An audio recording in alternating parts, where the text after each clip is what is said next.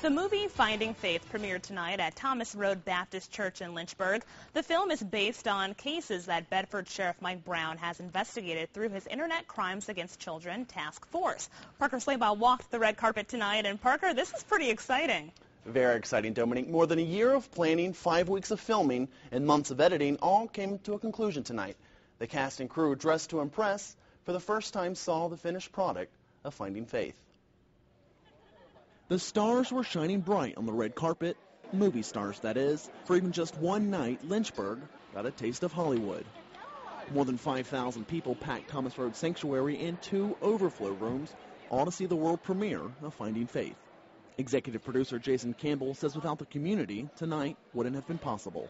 400 people in the community came together to make this film, and they're all here celebrating this tremendous thing that we accomplished. Finding Faith tells the story of Faith Garrett, a teenager who was abducted by an online sexual predator. Jonathan Phillips plays the bad guy in the movie. He says while he's excited to see himself on the big screen, he says this movie is about much more than telling a story. If we just save one child, you know, from a predator, we've done our job. I hope that it increases awareness on internet safety for teenagers. Lauren Paul plays investigator Brooklyn Cole. She says filming was the easy part. Now it's just nerve-wracking because I'm a little afraid to see myself on screen.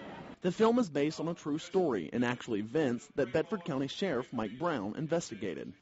Erik Estrada plays Sheriff Brown. He says he hopes the movie serves Clear. as a call to action. We need internet safety education put in every school in this country because the best way for protection is prevention. Estrada says the great thing about movies is the message will long outlive the messenger. And even after long dead and gone, this movie will still be around. Some kid will watch it. After tonight, Estrada and several others will take the movie on tour, visiting churches and community centers all over the country. And Dominic, I don't know if the official reviews are in yet, but I certainly give the movie two thumbs up. Live in Lynchburg studio, Parker Slabaugh, ABC 13 News.